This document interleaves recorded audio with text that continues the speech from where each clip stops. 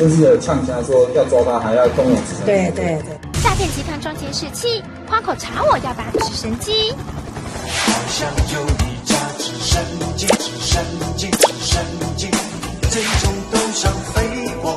哼，不用直升机，照样抓得到你。彰化县调查站前天破获一个由十人组成的诈骗集团，主线于浩明、林子宇夫妻租用两栋透天厝，从农历年后开始假装大陆公安，谎称民众涉及刑案等老梗诈骗，受害人数超过三百人，获利五六百万人民币。形式非常的隐秘哦，那也在这个呃这个机房的地方哈，装了有六只的那个呃监视器哈，那个监视器哈装的很隐秘哈，就是大概一般民众比较不会发觉。嫌犯以为装了六只监视器，这样就能发现警方侦查，甚至抢虾。检警调要查，只能搭直升机。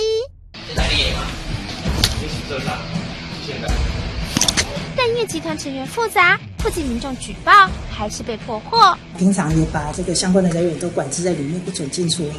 那也不准使用手机对外联络。对外讲是说，那个他们要抓到他很困难。动新闻，摇摆没有落魄酒报道。